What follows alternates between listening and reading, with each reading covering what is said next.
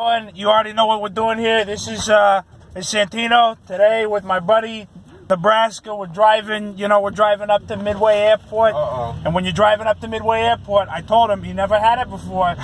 we got we got some we got some Raising Cane's.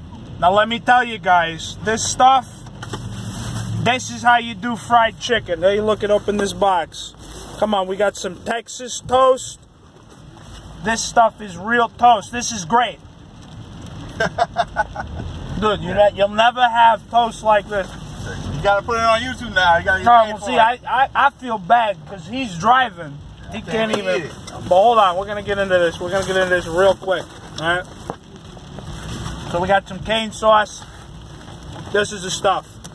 Pop that sucker open. Look at this. You could just with your finger. I could drink it. And now we got. We're gonna get some of this chicken.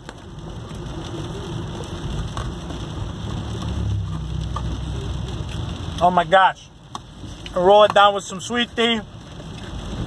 He died and went to heaven. He stole the words. you stole the words from my mouth, brother. You stole the words from my mouth. This is the best. Now, Chick fil A is good. This is the best fried chicken you're ever gonna get. You don't I'm want to get sorry. fired. Chick-fil-A don't fire him. Hey, hey, look at this. Hey, I'm just telling the truth. I'm just truth, yeah, this is I'm just reporting the truth here.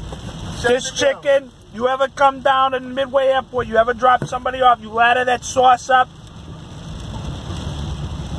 Oh God. They must have just killed they must have just killed this thing yesterday.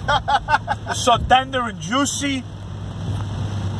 It's the best. Cane sauce, number one. Shout out to my buddy Nebraska for driving us up here to get one more big bite. Oh, I've got it all over my shirt. Thank I'm God for bad traffic. Chicago traffic is horrible. throw it down. But God keeping us safe. That's all that matters. Thank you, Jesus.